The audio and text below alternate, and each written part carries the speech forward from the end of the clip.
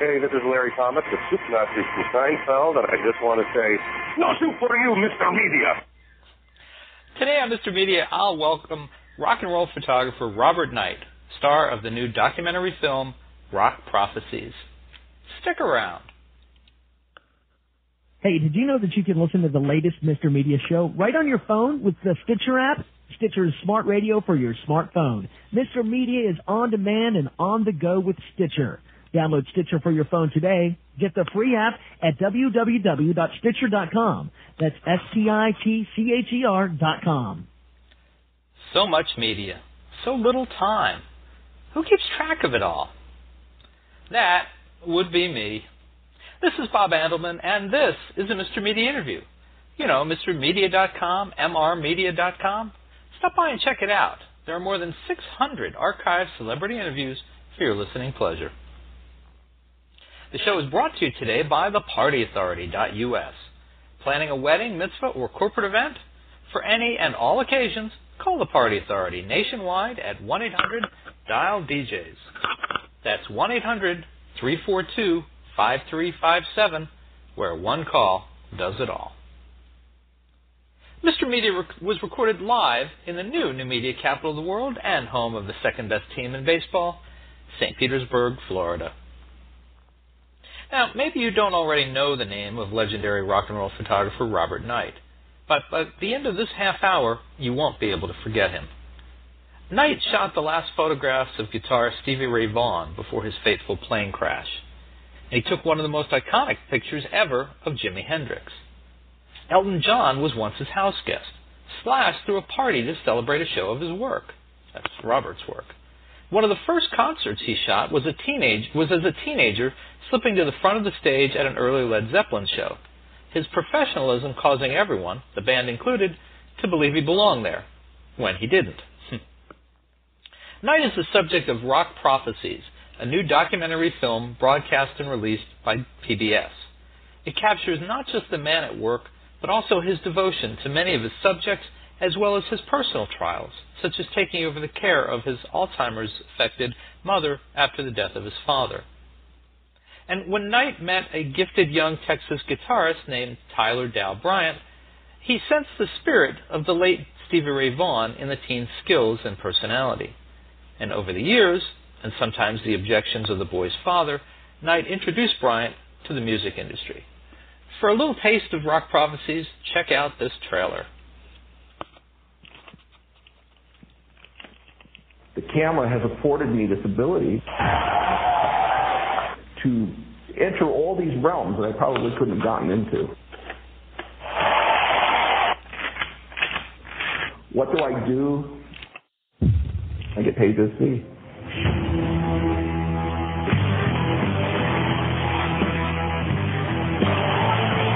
Mean, I've had people say, "What was it like working with Jimi Hendrix? Did you have any idea?" I didn't ask anybody. I walked in. I walked to the front of the stage. I had a camera. They figured, "Well, you must be with the band. Had a camera." These young bands that maybe a lot of people don't pay much attention to. That's sort of what I look for now. Some people collect stamps. Some people collect butterflies. I think I kind of collect rock stars. This fall, you know, I'm, I'm 58 years old, wondering, do I have a career? Legendary photographer Robert Knight is on a new mission And I stumbled across this kid, Tyler Dow Bryant, so I had to go see what this kid was about. to find the next rock god. I am putting my reputation on the line that I am hearing something in Tyler Dow Bryant. Once in a while, you run into a player that you hear something here. Hello? Hey, Tyler, it's Robert. What's up, Robert? Got some pretty good news for you. Follow the amazing journey The teacher told her I had an identity crisis. Like I thought I was Elvis. of two creative geniuses And you feel that energy of them rising, and you get to watch that look in their eyes. from two very different worlds He said, Mom, I'm going to learn to play the guitar. I said, the what? He said, the guitar. who have only one shot He's obsessive and he's fearless. oh my God, this is just unbelievable. to make history. If you're really good, someone's going to notice you.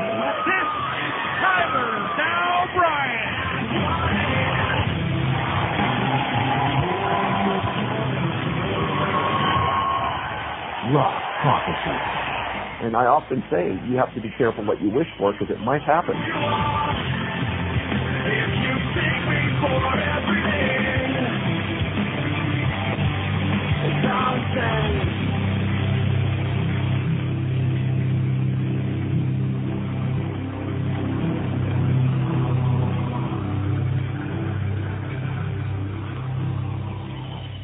Rock Prophecies features interviews with and performances by Jeff Beck, ZZ Top, Carlos Santana, Slash, Panic at the Disco, Sick Puppies, Kenny Wayne Shepherd, Rick Nielsen of Cheap Trick, and Steve Vai. The, the film won audience awards at the AFI Dallas Film Festival, the, Na- the Nashville Film Festival, and the Maui Film Festival, and goes on sales in stores and online on September 14th. It will also be broadcast on American Public Television later this fall. Now, if you love rock photography, you should also check out some earlier Mr. Media interviews with Bob Gruen, Charles Gatewood, and Tom Weschler at MrMedia.com. But now, Robert Knight, welcome to Mr. Media. Thank you, sir. I'm glad to be on. Glad to have you. Enjoyed watching the film. Yeah, thank you. Actually, I, I made it must watching for my uh, daughter, who's a uh, almost 14 year old uh, guitar player, and uh, uh, she found it very interesting as well. So, you know. Yeah, we need more of those. I tell you, I've searched, and I haven't found that many young girls that play the guitar, and um, hopefully. Uh, this will be an inspiration for young girls as well to go out there and pick up that guitar and wail. Uh, that's a surprise. Uh, an older man searching for young young girls looking to play guitar. no, but I mean, you just need to find young guys that all like Stevie Ray. You know, there's just you know, there's like only a handful of female guitarists in the world. Uh, I'm just just kidding. One of them is in the movie Orianthi. She's a young Australian girl. She makes a brief appearance in the movie. Mm. It it is interesting. I, I never expected to see my daughter play like like she plays, and it yeah, I mean you do expect it more of uh, uh, boys than girls, but it is it's very cool to see. But um, yeah, Robert, do you ask yourself? I mean, I got to the end of this movie and I thought, you know, there's an awful lot of men and women out there shooting rock concerts and musicians. Not many of them whose work though towers above the others. Do you ever ask yourself why me? What what what do I do differently? Yeah, I mean, at the end of the day, there's so many guys out there that are my age that I work with, and um, I was kind of surprised when um, Tim Kaiser and John Chester wanted to do the project on me because I'm a big fan of other photographers as well. But um, you know, I guess it was the devotion to the people that you know it was all about the music and being devoted to the artists that I worked with over 40 years that they found a resonating story. How did they find you? I mean, um, you know, were you looking well, for something like this? No, this was something that I actually never pursued because I always had an issue with photographers who somehow became more important than the people they were taking pictures of. Hmm. And so I never wanted to be in a movie or ever thought about doing that. And one day I get a call uh, from a friend of mine who wanted me to come down to the set of a TV show with producer Tim Kaiser, who did Will and Grace and Seinfeld. And he was interested in doing something on Ronnie Wood. And I work with Ronnie. He and I have the same agent for our artwork. He's a friend of mine. And so I came down and I was talking to Tim Kaiser about Ronnie and then basically tried to talk him out of doing anything with Ronnie because I didn't think Mick Jagger would really appreciate it under the circumstance. And the the day went on for hours, and by the end of that day, he had offered me, you know, a possibility of doing either a reality show or a documentary about me and my work. And I was quite stunned I turned down the first offer, and then a couple of days later, he called me back and said, "Well, how can we do this? I think this would be really interesting." And I said, "I wanted it to be about the people that blessed me and allowed me to take their picture." So we went down that path, and Rock Prophecies is what we came up with. Were you ever skeptical about having your privacy invaded and, and your work and your work habits put under a microscope? Uh, very. I mean, you know, I mean, uh, if you don't seek this sort of thing and you don't seek personal publicity, it is interesting when you have cameras in the house and someone follows you around for two years and and is actually getting involved with your process. You know, some of it was quite irritating and some of it was fantastic. You know, there were scenes where I was shooting with Panic at the Disco where the equipment was failing and he managed to get that and I almost lashed out at the director because it was like I was actually trying to do a shoot and, and cope with a film being done at the same time. But um, it was an interesting process, you know, when you work with a director, and especially one that really has a vision, and the vision may not be your vision, but you kind of, you know, you bounce back and forth in and out of friendship and, and respect, and but yet that's kind of what makes the project work is that it's sort of like Guns N' Roses or Aerosmith, that volatile relationship between the director, I suppose, and the subject. So that was definitely there. Mm. And it, it, it's uh, how did you get the band, or how did uh, how did get how did Kaiser get the bands to agree not only to let you into the pit as you might, you know, for any show to shoot, but also to let his cameras in there shoot you while you're shooting them. I thought that was insane.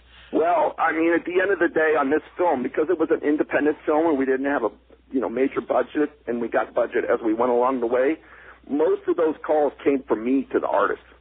I had to call up Def Leppard or I had to call up ZZ Top, and and um, you know that wasn't a problem. I mean, they welcomed it. Bring it on. Can I be part of it? Kind of thing. And it was the same thing with the music, because uh, you know a lot of times the record companies or the management companies didn't want uh, the music to be used. They would never use it in a documentary, and and you know the good case would be Elton John, and uh, the, you know we were turned down by the label repeatedly, and the director really wanted the Elton John piece, and so I called Elton, and he said, "What do you need?" I said, "We need Saturday Night's All Right for Fight," and he said, "You can have it." and the next day we had it cleared. We, so it was personal relationships. I mean, 40 years I worked with these guys and never asked them for anything, Right. you know, and so this is also the unnerving thing when you were making the movies. You were calling in favors, you know, and I was like, oh, geez, you know, like going to Jeff Beck. Um, you know, he doesn't let people into the house, and he doesn't play on demand. And when then I called Jeff and said, you know, they're doing a documentary on my life and work, the first thing he said was, "Can I be in it?" so that was a good sign. well, yeah. See, and that's what I wanted to ask you too. Was I mean, uh, you know, I, I you know, I, doing what I do, I've gotten to know, you know, some some some people with some celebrity over the years, and and the idea of ever going to any of them and asking them for a favor would unnerve me because a, I'd hate to ask for that favor because you never ask, and b, if they turn you Yeah. down, what a slap to the ego that would be. yeah, I know. And guess what? I was turned down. I mean, you know, there were people that I called and said, absolutely no way. so, you know, you win some, you lose some. But um, there were people that we wanted that it just didn't work out timing wise. I mean, Aerosmith um, was somebody I really wanted to interact with, and I recently have been on the road with them. But at the time, there was all this tumultuous stuff going on, and it just didn't work out. So, uh, but um, and you know, you take you take a 42 year career and you reduce it to 80 minutes. That was the part that I had to wrap my head around. I, I kind of felt bad because there were people that are very significant in my life that didn't get put in the movie, and then those that were in there maybe got you know far less time than say Tyler Bryant. Mhm. But at the end of the day, it was about the story, and and the director John Chester really started to see a storyline. And then at the end of the film, I look at it and I go, "Oh my God, this is really, really amazing what he did." I mean, because at the time I was sort of going, "What, what is happening?" You know? I thought one of the most amazing things, and you, and you just uh, uh, referred to it, was you going to uh, Beck's home and you know Yes. hanging out with. them. I mean, because yeah, I mean, this is a guy that we don't know a whole lot about. We don't. We haven't been. You know, the public generally has not been up close and personal with him. And uh, you know, suddenly there you are in his house.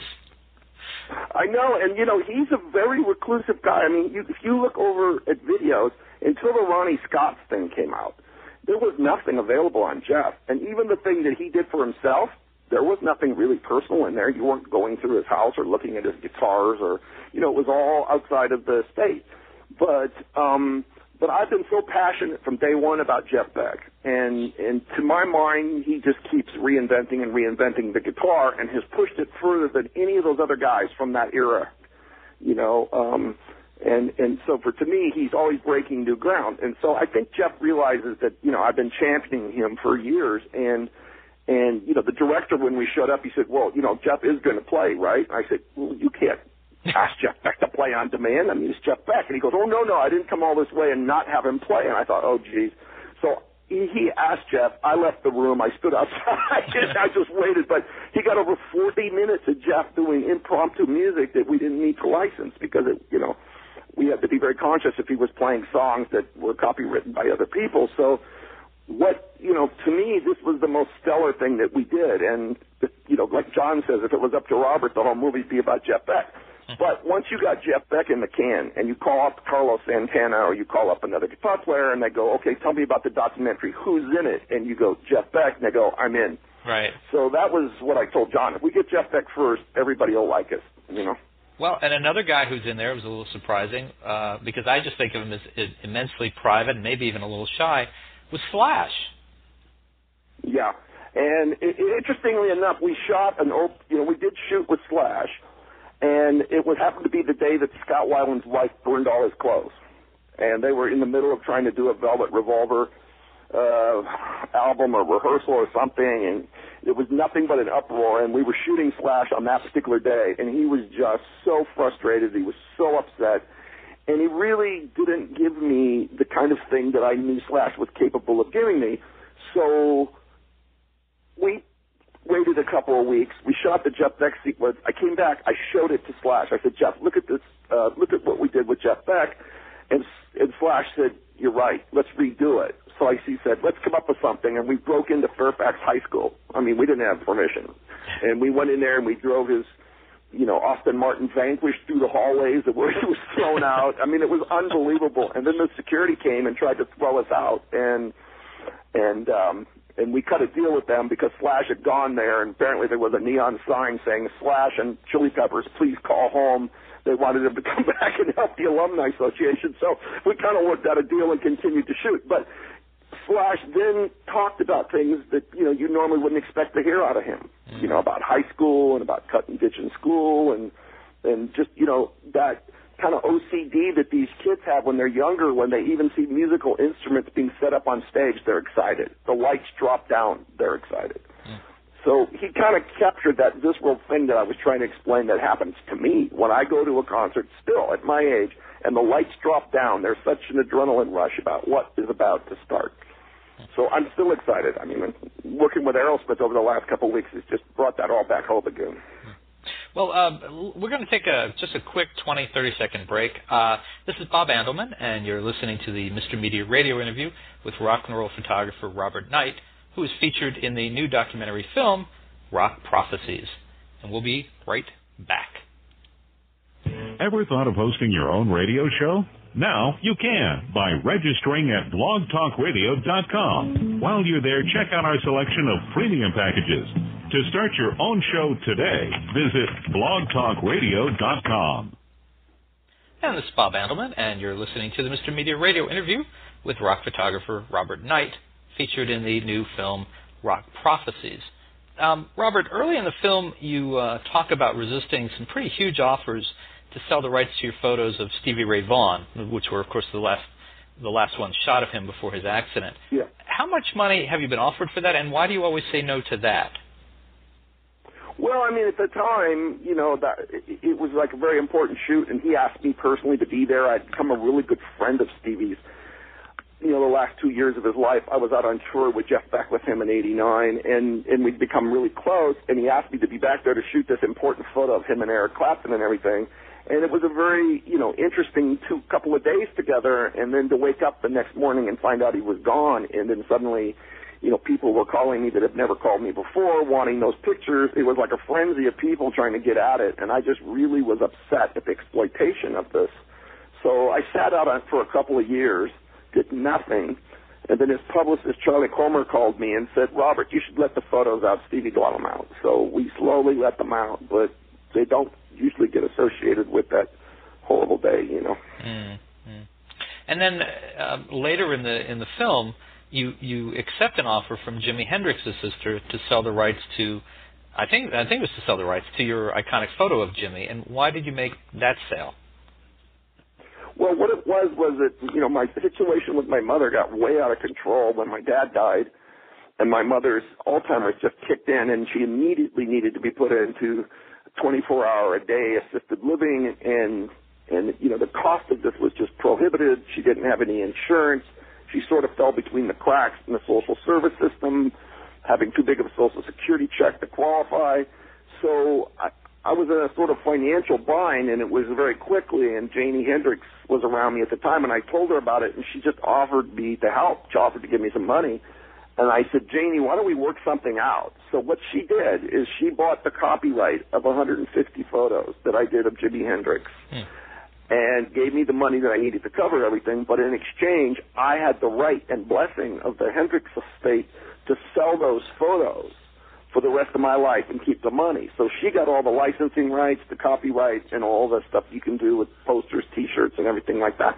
So it was a total win-win. Hmm. I'm still associated with the work. I can still sell the prints, and she's free to do those things with those images that you know really that she could do that I couldn't do probably anyway. You know, so it was like an angel at the time, and, and it really helped the situation. So I, I, you know, kudos to Janie Hendrix. And how how is your mom at this point? Has anything changed? Well, you know, it, for having Alzheimer's, the cycle has been a very long one, and she's still alive, but but she's in that zone where there's a sort of complete shutdown of who you are, where you are, why you are. She no longer has any recognition of me. It's a horrible situation for me to to look at, but at the same time, she's not sick. I mean, physically ill, as we can tell. So uh, never gets colds, never gets flus, and you know she's in a 24 hour a day, you know, lockdown in a bed with people watching her. You know, it's it's really quite dreadful, really, for me to see this. Any second thoughts uh, about uh, including her in the uh, in the documentary at this point? Well, I didn't originally want to, but John Chester said, "Let's do it, and if you don't like it, we'll cut it out," which is a great line that directors use. and um and I was not happy because I just like, well, you know, this is a very personal thing. But then I started thinking about it, and I started thinking, you know, there's a lot of people probably my age that are going through this that, you know, probably can identify with this. So when I saw it, I said, look, at least it's a testimony to my mom when she could still walk and sort of, sort of interact with me. And um, and then, you know, as we've shown the movie around the country in film festivals, I've been inundated by people in similar situations that, you know, can relate to the movie, even though they don't know much about rock and roll or even still photography, they really find this compelling backstory of, of just dealing with an elderly parent under the circumstances, you know, so, um, at the end of the day, John Chester did the right thing. I was wrong, you know, by saying I didn't want it in there. But now, you know, in hindsight, this is what probably made a very profound movie. Now, the movie also gives us a peek at another woman in your life. Uh, tell us a little bit about this woman who uh, is by your side and, you know, by the side of a guy who travels as much as you do and has to, you know, keep up with all these young dudes. Uh, what do you think? Well, I have an amazing wife. Her name is Maryanne Bilham, and she's from New Zealand, and she's also a photographer. And I met her in the '80s in Hong Kong, and you know, she does. She has traveled the world, and she does what I do. So it was like somebody in my life that totally understood what I do, and I could understand what she did. And um, she moved over to America in the early '90s, and you know, we've traveled the world. We've shot together and um, we've opened a gallery together in Las Vegas, but yet she's very much her own person as a photographer. And she's working on some wonderful uh, one-woman shows and some books and things coming up. But she's a she's a much better technical photographer than I am. I'm more of a journalistic uh, guy that captures the moment. I'm really comfortable doing a 90-second, two-minute photo shoot with a rock star, where she would really like to work on the conceptual ideas and you know really put in the the all the things that you would put into an amazing photo shoot. So my career is really much more of the spontaneous. I really die, you know, live for the live show. I love working very quickly. Um, you know, I'm a well trained traditional photography guy that could do film, printing, you know, all of that stuff, but now have embraced the digital world because you have no choice. Um, and and you know, have mastered that. And I, I, I, I could not uh, let us finish without asking you about uh, uh, Tyler uh, Dow Bryant, the prodigy that you uh, noticed uh, in his teens, and you. There, I mean, there's two elements of that story. One, of course, is that you talk about uh, feeling the spirit of Stevie Ray Vaughan in him, but also, despite all of his talent, his dad. Uh, at, at one point puts down his foot and said, "No, you're not going to do a record contract. You're going to finish school, Mm. and, and one day you'll thank me for it." And we we see this glimpse of of uh, Tyler's mom, who is either in tears or near tears ab- about being caught between this situation. Uh, that you know, Yeah, no, it, it, this came out of John Chester asking me to find several young artists that nobody had ever heard of and do what I did back in the early 60s and 70s with bands like Led Zeppelin and predict that, you know, they were going to make it. So with Tyler, I heard about him when he won the Robert Johnson Blues Award. I put him on Eric Clapton's radar. He was invited to play the Crossroads in 2007, which he did. Um, and when I went to the parents, and they'd already kind of been through the drama of, you know, the record offer and all that, getting flown on private jets to Nashville. And the dad said, listen, I want him to finish high school. You can start down the path with him, but he is finishing school before he can do everything. So we got Tyler on an accelerated program where he finished early, finished with honors, and moved him to Nashville. We arranged a showcase for CAA. They signed him on the spot. And Tyler just is on a three week tour right now with REO Speedwagon and Pat Benatar and another young guitar player I know, Graham Whitford, who is the son of Brad Whitford from Aerosmith. He's joined Tyler's band and about a week and a half ago the boys opened for Aerosmith in New York, which was just for Tyler, I would imagine, an amazing thing in one year. But the irony was that day that they played opening for Aerosmith was August 26th, and that was the day Stevie played his last show. So 20 years to the day, I've got Tyler and Graham opening for Aerosmith, and that was the anniversary of Stevie Ray Vaughan's last performance. So for me, the life was imitating art. Wow, wow. Well, uh, folks, listen, Rock Prophecies, featuring uh, photographer Robert Knight, goes on sale in stores and online on September 14th. It will also be broadcast on American Public Television later this fall, and you can order the DVD right now at a great price on MrMedia.com, mrmedia.com. Uh, Robert, can folks find you uh, online? Do, do, you have a website? A yeah, I, I, am. Um, if you can go to the Knight Gallery, it's knight-gallery.com. You can look at a lot of photos. Uh, I'm on Facebook under Robert M. Knight.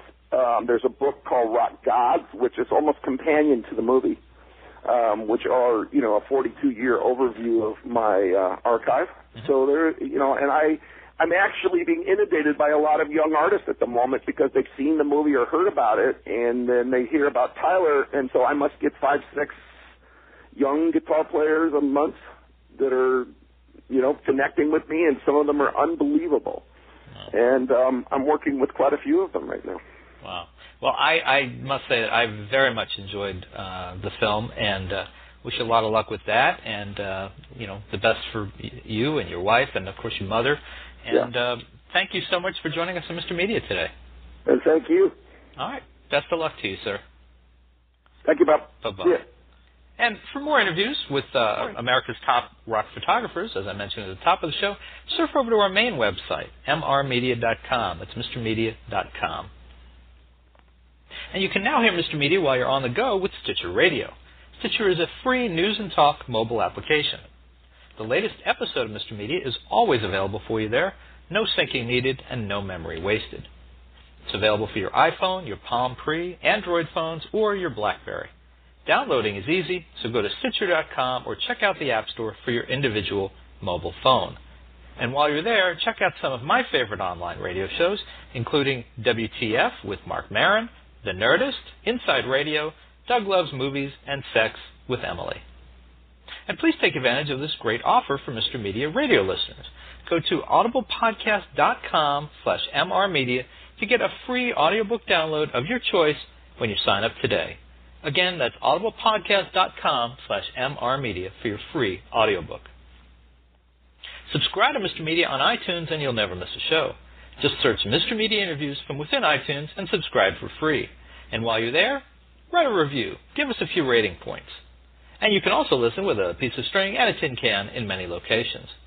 If you've got an idea for a guest, email me directly at bob at mrmedia.com. And you can follow me on Facebook or Twitter, twitter.com slash Andelman, or on Facebook, just search Mr. Media Interviews. Thanks so much for joining us today. Always appreciate when you give up a little piece of your day and come spend it with us. Thanks for listening.